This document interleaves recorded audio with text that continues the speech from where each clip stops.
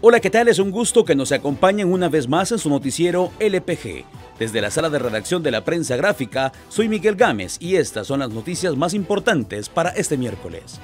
Pocas son las personas que saben que la ley salvadoreña permite que los padres en estado de abandono puedan demandar ante la Procuraduría General de la República a sus hijos y reclamar una cuota alimenticia. La edad de los adultos mayores demandantes de una cuota alimenticia va de los 61 a los 88 años. Un funcionario de la institución recalcó que no se le ha dado mayor difusión a este tema y por ello se tiene un bajo número de ancianos demandantes. Además, mencionó que el servicio de demanda es gratuito y lo único que se requiere es la partida de nacimiento del adulto mayor y la dirección exacta de trabajo del demandado. Después de múltiples denuncias en redes sociales del maltrato a las aves que buscan resguardo en algunos techos del centro comercial La Gran Vía, las autoridades del Ministerio de Medio Ambiente inspeccionaron el lugar este miércoles y declararon que no se utilizó un repelente adecuado. El Ministerio de Medio Ambiente enfatizó que no permitirán las acciones de maltrato animal. Desde el día de ayer ya se levantó, se levantó acta, se levantó inspección y, se está eh, analizando eh, legalmente las implicaciones que pueda tener la ley de vida silvestre. Eh, ya los abogados lo están viendo y la ley eh, tiene ciertos artículos los cuales pueden venir a indicarnos si hay alguna multa eh, por, por este tipo de acciones.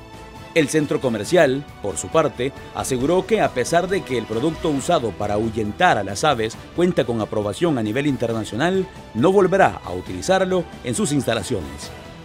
José Segovia Benítez, un salvadoreño que brindó servicio militar a las Fuerzas Armadas de Estados Unidos por cinco años, llegó a El Salvador luego de que se completara su proceso de deportación.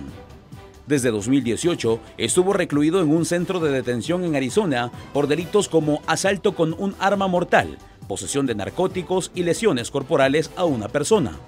Sin embargo, la familia del salvadoreño asegura que su comportamiento criminal se debe a que sufrió una lesión cerebral que no fue tratada adecuadamente posterior a servir en la guerra de Irak. Organizaciones en Estados Unidos reprocharon a las autoridades el acto de deportación a alguien que prestó su servicio a la nación norteamericana.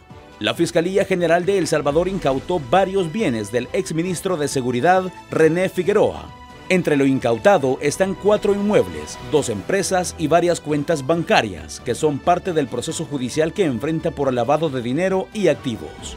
Figueroa, quien sirvió como ministro de Seguridad en la presidencia de Antonio Saca, es acusado de blanquear más de 3 millones de dólares, que según las autoridades obtuvo de forma ilícita. La fiscalía sostiene que Figueroa habría incrementado su patrimonio sin justificar entre 2004 y 2015. Muchísimas gracias por haberse informado con nosotros. Esta es toda la información que teníamos preparada para ustedes en la emisión de este miércoles. Hasta la próxima.